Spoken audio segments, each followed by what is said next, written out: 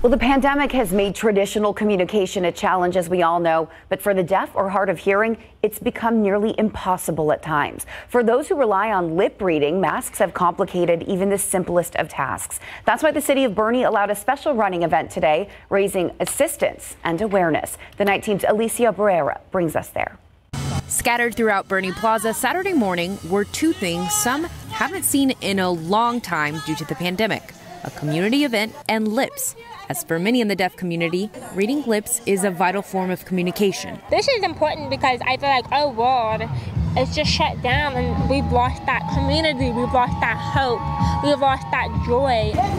This morning's run was a major fundraising effort for the group Aid the Silent that helps deaf and hard of hearing children and teens. Different blocks would go and set up for the race, and so everybody spread out exactly six feet apart. The deaf and hard of hearing community continues to raise awareness during the pandemic for the use of clear face masks to understand the information around them. A lot of deaf kids have really good lip reading, so it'd be a lot easier if they can be able to lip read when they're out in public.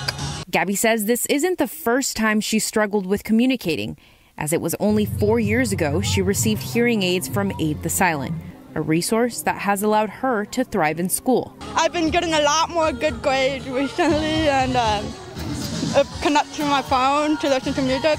A cause Ryan Borum proudly celebrates with his family, as his son Elliot is also hard of hearing. Our goal was to, to get him to be able to go to traditional school, and he does that, and it's so neat.